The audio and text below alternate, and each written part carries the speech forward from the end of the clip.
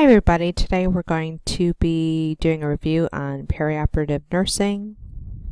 Learning objectives uh, for this lecture is to define the role of the nurse in the different phases of perioperative care for patients, um, pay special attention to complications, know what the role of the nurse is with informed consent, identify comorbidities that would impact a patient's perioperative care and discuss why, and know the role of the nurse as it relates to surgical asepsis.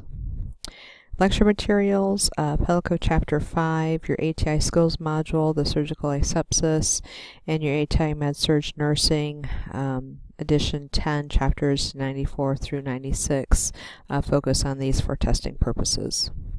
So know your patient population, uh, elderly patients older than 65. Um, you can see some issues with them on page 105 of Pellico, Table 5-2 children, obese patients, patients with disabilities, smokers, diabetics. Um, the populations that are asterisks, um, there's going to be some different issues with those. Obviously, children populations, um, there are going to be issues in terms of emotional uh, management of those. Um, child life specialists usually are really good for children um, to kind of help them through the process, especially um, if surgery is warranted. Smokers know that healing is going to um, be slower for them, as well as diabetics. When um, the perioperative nursing, this is basically going to be the period of time that begins once surgery has been decided and agreed upon and ends once the patient enters the OR suite. So you want to get a good patient history, you want to know the current medications and over-the-counter meds. Um, over-counter meds, there's some more information about that on page 111 in your Pellico book but over-counter the meds, what most patients don't realize, there are some that can actually increase their risk for bleeding, which obviously is one issue that we want to prevent while in surgery. Um, some of these medications include your NSAIDs, aspirin, um, and also some herbals. Um, kind of a good rule of thumb is most most herbals that start with the letter G uh, incre increases a person's risk for bleeding. Um, if they have any bleeding disorders, history of malignant hypothermia, allergies, uh, diseases of pulmonary, renal, or urinary tract, cardiovascular, cerebrovascular, endocrine, or hepatic system, pre-existing mental or physical disabilities, and pregnancy status. Women that are of childbearing age should have a pregnancy test done. If they refuse, they need to sign a waiver or follow your facility's policies. Um, Hold anticoagulants from 7 to 10 days prior to surgery. Those include things like warfarin or aspirin. Lab work, know your basic values and what to report. Um, pre-surgical testing and procedures, needle location mapping of a stealth system, patient prep, um, that can be bowel prep, Hibiclens, shaving, IV placement, and removal of nail polish. Know what medications to administer. Patients should have had nothing by mouth, depending on what time their surgery is. And there needs to be an updated history and physical on file before surgery happens, and informed consent that we'll talk about later in understanding what your role is as a nurse.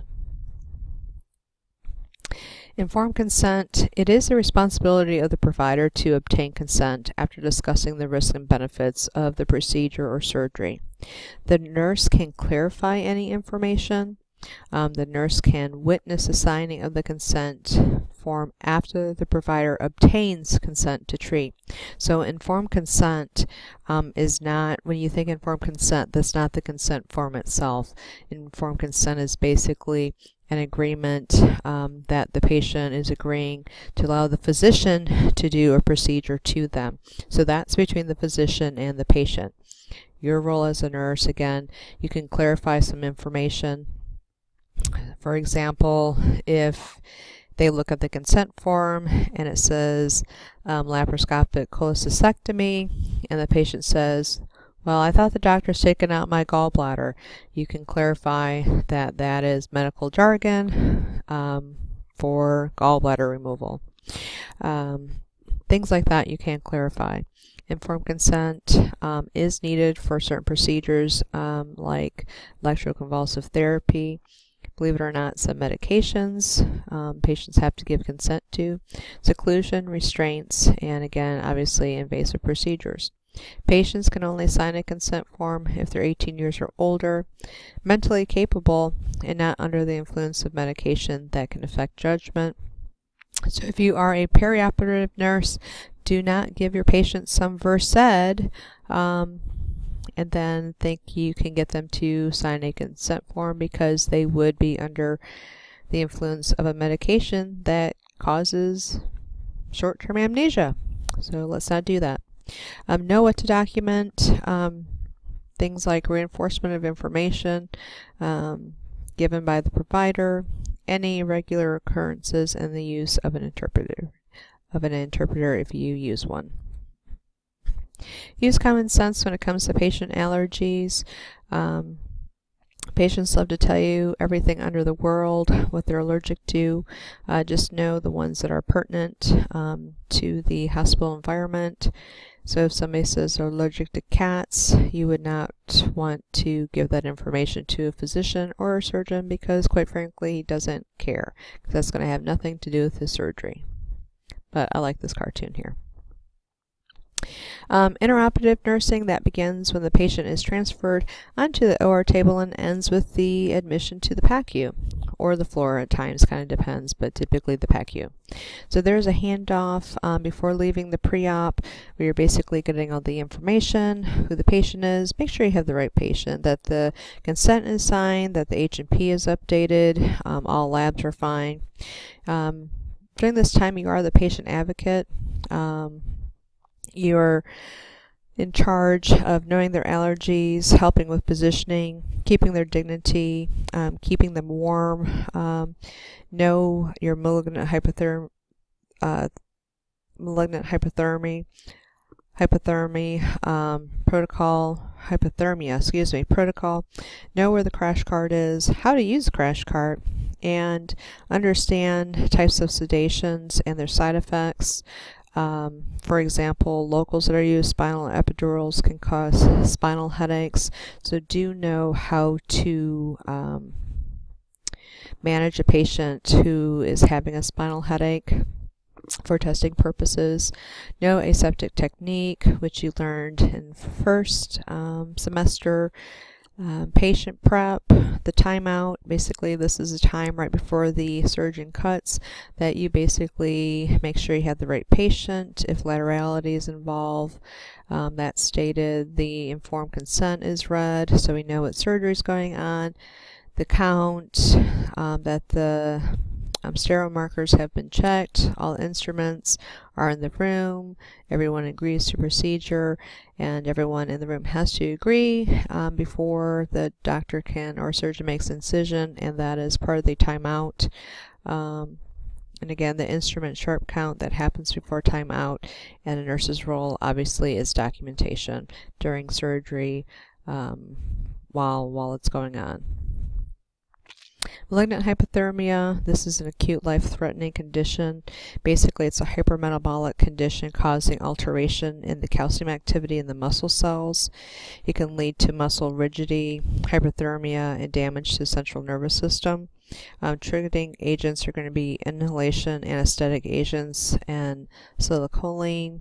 Um, treatment is basically you have to stop surgery, administer IV dantrolene, 100% O2, obtain ABGs, infuse iced IV, um, normal saline, cooling blankets, and catheter for I's and O's, which um, most patients um, typically do have a catheter in place. Spinal headaches, this is caused by CSF leakage from spinal epidural local anesthetics. Manifestations typically happen when the head of the bed is elevated. So treatment is keep the patient flat to, prom to promote the Duratear to seal, keep them in a quiet environment, and hydrate the patient to help replace the um, cerebral spinal fluid loss. So make sure you know how to uh, manage a patient with a spinal headache. Surgical asepsis, um, just to give you a sense, if you um, ever have an opportunity to go into an OR that basically from the waist up is sterile, um, from the waist down is non-sterile.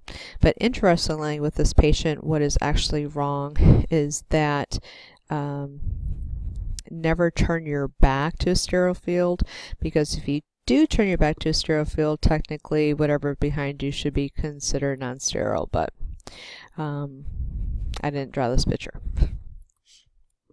So just for the zone, different areas of an operating room um, require different type of clothing. The areas in green, basically you can be in normal clothing. Semi-restrictive zones, you should be in scrubs, um, at least have um, a bonnet on, but you don't have to have a mask. Um, in the restricted zone, which is the operating room, you need to have scrubs, um, masks, eye protection, and a bonnet on your head if you're not doing surgery. Postoperative nursing, this basically begins when the patient is admitted to the PACU or the post-anesthesia care unit. Frequent nursing assessments are vital. You want to make sure the patient has a patent airway, head of the bed 15 to 30 degrees unless contraindicated. If a, if a person has decreased level of consciousness, um, you should put them in the lateral position. Um, watch for hypotension and shock. Um, this is more likely to happen if there is a blood loss of 500 mLs. Um, may indicate that replacement is needed. If you see, um, watch for hemorrhaging, hypertension, and arrhythmias, pain and anxiety, nausea and vomiting, which can be caused by a lot of anesthetics, um, line strains and monitoring or care, and obviously outpatient um, surgery will require discharge teaching. So some postoperative complications that you should be familiar with atelectasis. It happens within the first 48 hours. Your signs and symptoms, interventions, incentive spirometer, hydration, uh, turn cough, deep breathing every two hours. You want to monitor the respiration rate and rhythm. Early ambulation, hypostatic pneumonia can happen after 48 after 48 hours. See the sign and symptoms, febrile, tachycardia, tachypnea, crackles and rhonchi. Again, interventions will be in incentive spirometer, hydration, turn breathe deep cough every two hours, mucolytics, and early ambulation. Um, and then respiratory depression, obviously, because a lot of pain medications are opioids. Um, the one thing you'll see with all these, obviously, especially the first two, is the use of incentive spirometer, um, turn breathing and coughing, and early ambulation are going to be very important to ward off pneumonia and atelectasis. Some other complications, hypoxia. This is, of course, a deficiency in tissue perfusion. Um, know your signs and symptoms, and obviously you want to try to resolve the underlying problem that may be causing this. Um, O2 therapy is going to be important. Nausea, um, comfort measures, antiemetics, relaxation. Sometimes NG tubes are needed to decompress the stomach depending on the surgery. And that also helps to decompress some of the intestines as well because of the dilation.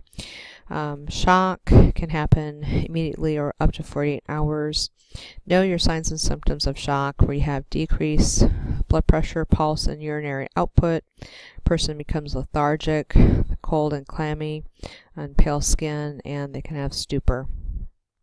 Um, interventions obviously is to replace fluids, um, position them in Trendelenburg if you're suspecting shock, which this is basically help getting blood um, to the main organs and administer vasopressors as prescribed. Urinary retention or hesitancy. This is the inability to, to to void. A person may be restless, have bladder distension that you may see. You may physically see it if the person's really tiny, or upon scan, a person may also have an increased blood pressure.